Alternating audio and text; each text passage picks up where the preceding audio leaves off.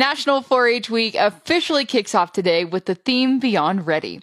One thing is certain 4 H programs would not be able to thrive without the diligent work of local extension educators. I'm visiting with Jenna Gilbert. She is the lead extension educator for Engagement Zone 10, which services Nuckolls and Thayer counties. Jenna, tell us about the theme of National 4 H Week Beyond Ready. Which has made um, the youth that are involved or have been reached by 4 H beyond ready for their future, whether that be a future career or just like being an informed citizen, anything like that.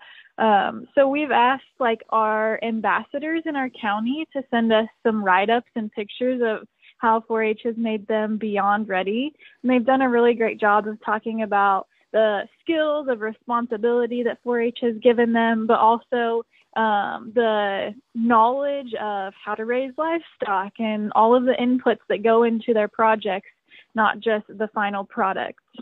Most definitely. Well, National 4 H Week is a big celebration. What does this week mean to you?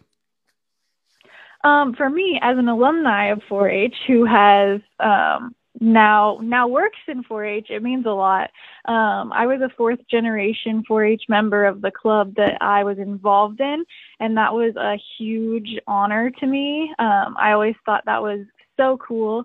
And um, my aunt, who was also involved in the 4-H club, was our club leader, and my dad was on the fair board, and it was just means so much to me and I'm currently serving on the Jewell County Fair Board where I did 4-H in Kansas um, so I love still being involved and getting to see um, all the things that kids are doing and how 4 H has impacted so many youth across the U.S. Most definitely. Well, you get to work with youth all year long, not just during county fair season. Talk about the growth that you observe in 4 Hers from their participation in the program. It's so fun to see um, how like they start out when they're so young and are so shy and then the more they get to know you and work with you they're more willing to come up and tell you about their projects or tell you about what they want to do in the future when they're watching shows. And so it's just so fun to see them throughout the years and grow in each project but also as a person and the skills that they develop for sure.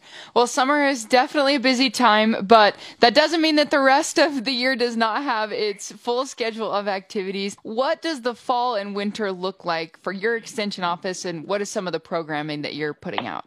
Yeah, so fall and um, winter and spring are school enrichment time for us. So we work with our county schools and go in and teach lessons and put on some field days. Um, so this this afternoon I'll be in Superior Schools teaching some bacteriology and learning about germs, and then um, Wednesday I'll be in Buffalo County teaching Adventure Day, which is an entrepreneurial field day for middle school students, and then Friday I'll be teaching about pumpkin life cycles. Um, so it's always something different, but we're constantly working with classrooms to go in and teach different lessons. Um, and we're super busy this fall, which is very exciting.